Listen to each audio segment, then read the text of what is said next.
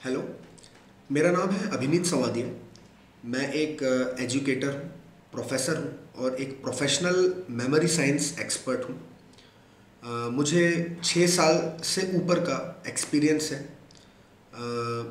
जिसमें मैंने बहुत सारे लेवल्स के स्टूडेंट्स को पढ़ाया हुआ है, जिसमें सिक्स से लेके ट्वेल्थ तक के बच्चे शामिल हैं। मैकेनिकल इंजीनियरिंग के ग्रेजुएट स्टूडेंट्स शामिल हैं और एनर्जी टेक्नोलॉजी के पोस्ट ग्रेजुएट स्टूडेंट्स शामिल हैं। मैं जबलपुर मध्य प्रदेश में four eight two zero zero three city code पर लोकेटेड हूँ। ब्रेन साइंस मेमोरी क्लासेस के नाम से आ, मेरी क्लासेस रन होती हैं जबलपुर में जिसमें मैं ऑनलाइन और ऑफलाइन दोनों सेशंस में बच्चों को ब्रेन साइंस के कोर्स के बारे में नॉलेज देता हूँ मेरी क्लासेस के थ्रू आपको बताऊँ ये मेरा फ़र्स्ट वीडियो है और मैं अपना यूट्यूब चैनल भी लॉन्च कर रहा हूँ brain science memory and education के नाम से, जिसमें मेरा एम जो है उन बच्चों के लिए है जो कि स्कूल के स्टूडेंट्स हैं या फिर कॉम्पिटिटिव एग्ज़ाम के एस्पिरेंट्स हैं जिसमें मैं फोकस करना चाह रहा हूँ उस पार्ट को, जिसके बारे में हमेशा से प्रॉब्लम में रहते हैं बच्चे। तो मैं अगर आपको बताऊँ इस चैनल के हेल्प से, इन जो वीडियोस को मैं अब अपलोड करा करूँगा अपने यूट्यूब चैनल में, उनकी हेल्प से। मैं उन बच्चों तक पहुँचना चाह रहा हूँ, जिनको याद करने में परेशानी होती है मेमोरी जिनके लिए एक बहुत बड़ी प्रॉब्लम है। तो उसमें मैं आपको थोड़ा सा इंट्रोडक्शन देता हूँ सबसे पहले कि मैं किस तरीके से उन बच्चों की हेल्प कर पाऊँगा, जिनको याद नहीं होता है। चाहे वो सिक्स से लेके ट्वेल्थ तक के बच्चे हों या कॉम्पिटिटिव एग्ज़ाम के एस्पिरेंट्स हों। मेमोरी की जिनको भी प्रॉब्लम है, वो ज़रूर मेरे इस यूट्यूब चैनल को सब्सक्राइब करें, मेरे साथ जुड़ें। उनको मैं ये कोर्स सिखाकर उनकी इस परेशानी को दूर कर सकता हूँ। आपको बताऊँ जो हमारा ब्रेन साइंस कोर्स है वो पारंपरिक जो टेक्निक्स है स्टडिंग की, उससे डिफरेंट है। किस तरीके से डिफरेंट है वो मैं आपको बताता हूँ। जो पारंपरिक एजुकेशन सिस्टम है वो चार डायमेंशंस पर बेस्ड है। लेकिन उनमें से सिर्फ़ तीन डायमेंशंस के बारे में हमारे स्टूडेंट्स को पढ़ाया जाता है, चाहे वो स्कूल में हों, चाहे वो ग्रेजुएट स्टूडेंट्स हों, चाहे वो पोस्ट ग्रेजुएट स्टूडेंट्स हों वो जो चार डायमेंशंस हैं, वो होते हैं रीडिंग राइटिंग अंडरस्टैंडिंग और लॉजिक एंड रिकलेक्शन जिसमें से रीडिंग राइटिंग अंडरस्टैंडिंग या लॉजिक वाला पार्ट हमेशा से हमारे स्कूल में कॉलेजेस में यूनिवर्सिटीज़ में पढ़ाया जा रहा है।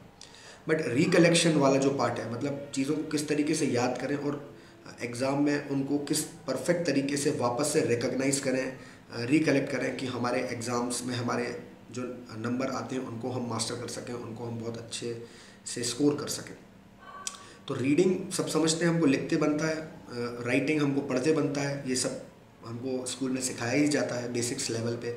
और जो तीसरा वाला पार्ट होता है अंडरस्टैंडिंग और लॉजिक जो हमारा धीरे धीरे फोर्थ क्लास के बाद डेवलप होने लगता है। हम चीज़ों को लॉजिकली एनालाइज कर पाते हैं लॉजिकली चीज़ों को समझ पाते हैं और उनको इम्प्लीमेंट कर पाते हैं। इस वजह से मैथमेटिक्स या इस तरीके के जो सब्जेक्ट्स होते हैं जिनमें लॉजिकल रीजनिंग रिक्वायर्ड होती है, वो हम आसानी से कर पाते हैं। बट जो फोर्थ पार्ट है, उसके बारे में किसी भी स्टू किसी भी स्टूडेंट को किसी भी कॉलेज में स्कूल में यूनिवर्सिटीज़ में नहीं पढ़ाया जाता, वो है रिकलेक्शन वाला पार्ट और रिकलेक्शन वाला पार्ट ही है जो हमारा ब्रेन साइंस फोकस करता है।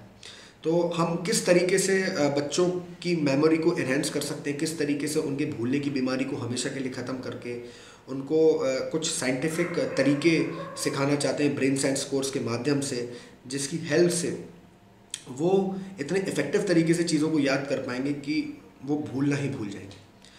तो ब्रेन साइंस करता क्या है? As compare to the conventional education system हम कन्वेंशनल एजुकेशन सिस्टम में जो भी चीज़ें हैं, उनको इमेजेस में कन्वर्ट कर रहे हैं।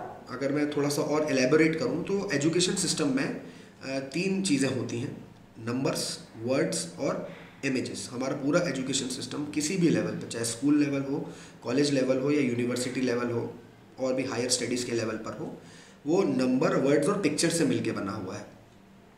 तो प्रॉब्लम आती है कि जो नंबर्स और वर्ड्स होते हैं उनको हम मेमोराइज नहीं कर पाते इफ़ेक्टिव तरीके से। जो हमारे कन्वेंशनल तरीके हैं लिख लिख के याद करना या बोल बोल के याद करना बार बार उसको रिपीट करके याद करना, इन तरीक़ों से हम उसे याद करने की कोशिश तो करते हैं और वो याद भी हो जाता है बट प्रॉब्लम ये है कि वो लंबे समय तक याद नहीं रह पाता। इनफैक्ट कई बार तो ऐसा होता है कि हमने एग्ज़ाम के एक दिन पहले तक पढ़ाई करी है और एग्ज़ाम के दिन हम जब उस चीज़ को याद करने की कोशिश करते हैं अपने पेपर के आवर्स के दौरान, हम उन्हें याद नहीं कर पाते हैं वापस से, जिस वजह से हम, हमारे बहुत सारे आंसर्स जो है हम नहीं लिख पाते हैं, जितने इफ़ेक्टिव तरीके से हमें लिखना चाहिए थे।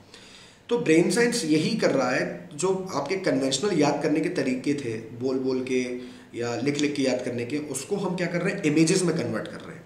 मतलब सीधे सीधे बात करूँ तो नंबर्स और वर्ड्स को ब्रेन साइंस कोर्स में हमने क्या किया है, कुछ साइंटिफिक मेथड्स हमने डेवलप करी। ऐसी फोर्टीन साइंटिफिक साइंटिफिक मेथड्स हैं। जिनमें हम नंबर्स और वर्ड्स को इमेजेस में कन्वर्ट कर दे रहे हैं। इससे होता क्या है? इमेजेस को याद करना हमारे ब्रेन के लिए बहुत आ, आसान होता है। एक रिसर्च में आ, आ, ये पाया गया है कि आपकी जो विजुलाइजेशन या इमेजिनेशन वाली मेमोरी होती है that is twenty times stronger than the conventional memory which utilises your ears और आईज टू रिमेंबर थिंग्स जो सुनने वाली और देखने वाली मेमोरी होती है, उससे ज़्यादा इफ़ेक्टिव मेमोरी होती है इमेजिनेशन वाली memory about twenty times stronger होती है। तो इसका मतलब ये है कि अगर हम नंबर्स और वर्ड्स को किसी भी तरीके से इमेजेस में कन्वर्ट कर पाएँ ठीक है?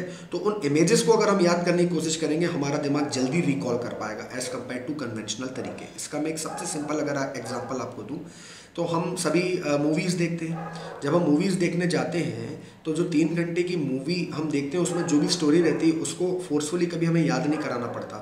ना हम याद करते हैं, वो ऑटोमेटिकली हमें याद रहती है। उसका रीज़न है, उसमें जो भी डिटेल्स या स्टोरी बताई जाती है, वो इमेजेस के फॉर्म में रहती है और इमेजेस को हमारा दिमाग बहुत जल्दी कैप्चर करता है।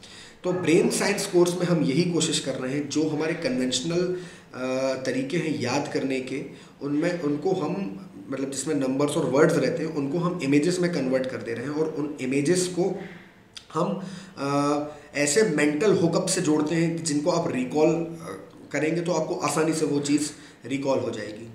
ठीक है?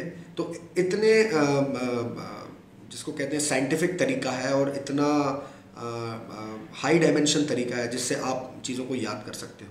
तो अब ऐसे कितने मेथड्स हैं? इसमें फोर्टीन साइंटिफिक मेथड्स हैं। और इन फोर्टीन साइंटिफिक मेथड्स को मैं अपने वेरियस डेमोन्स्ट्रेशनल वीडियोस से अपने अब चैन इस चैनल पर ब्रेन साइंस चैनल पर अपलोड करता रहूँगा।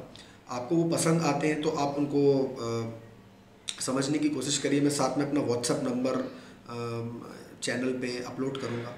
इसके साथ साथ अपना फेसबुक पेज मेरा गूगल पेज और मेरी वेबसाइट भी मैं अपलोड करूँगा, जिसके थ्रू आप मुझसे जुड़ सकते हैं और इन वीडियोस को सीख सकते हैं। आपको बता दूँ कि मैंने ये जो ब्रेन साइंस की मेथड्स हैं, ये सीखी हैं डॉक्टर विनोद शर्मा सर से, जो कि इंडिया के, हमारे देश के बेस्ट मेमोरी ट्रेनर हैं और टेक्सपे ग्रुप की हेल्प से वो इस ब्रेन साइंस के कोर्स को इस देश ही नहीं दुनिया के बहुत सारे बच्चों तक इस कोर्स को पहुँचा रहे हैं।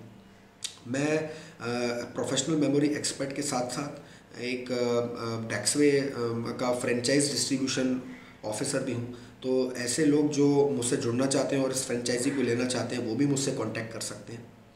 और लास्ट में मैं यही कहूँगा कि बहुत ही साइंटिफिक और बहुत ही इनोवेटिव तरीका है चीज़ों को लर्न करने का।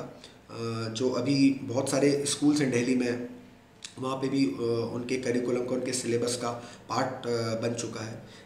और इतना इफ़ेक्टिव और इतना पावरफुल है वो इसलिए क्योंकि हम जो साइंटिफिक मेथड्स इसमें बताते हैं, वो उससे बच्चे इतने जल्दी कनेक्ट होते हैं कि चीज़ों को वो मतलब बहुत ही कम समय में और लंबे समय तक याद रख सकते हैं, वो भी बिना बोले तो आइए हम और आप मिलके अब एक कैंपेन शुरू करेंगे, जिसमें मैं उन मेथड्स का डेमोन्स्ट्रेशन आपको दूँगा। आप कोशिश करें, आप कोशिश करें उन चीज़ों को समझने की और जैसे जैसे आप इन मेथड्स को प्रैक्टिस करेंगे, आप देखेंगे कि आपका ब्रेन भी एक सुपर कंप्यूटर बन जाएगा। तो अगर आपको ये वीडियो पसंद आया है आप इसे प्लीज़ लाइक करें सब्सक्राइब करें, मेरे यूट्यूब के बेल आइकन को क्लिक करें। मुझसे जुड़ें और हर संडे मैं एक नया डेमोन्स्ट्रेशनल वीडियो लेके आऊँगा, जिसे आप देखकर मुझसे जुड़ सकते हैं। उसमें आपको कुछ क्वेरी हो, कैसे वो मेथड आपके एकेडमिक्स को इम्प्रूव कर सकती है, चाहे आप एक सिक्स से लेकर ट्वेल्थ तक के बीच के स्टूडेंट हो या कोई कॉम्पिटेटिव एग्ज़ाम एस्पेरेंट हो, उसको आप किस तरीके से अप्लाई कर सकते हैं, वो आप मुझसे सीख सकते हैं ऑनलाइन ऑफलाइन जैसे भी आप चाहें। और बस इसी के साथ मैं अपने इस वीडियो को ख़त्म करता हूँ। आई होप आपको ये वीडियो पसंद आए. So this is Abhineet Samadhiya signing off keep studying be safe and be productive thank you so much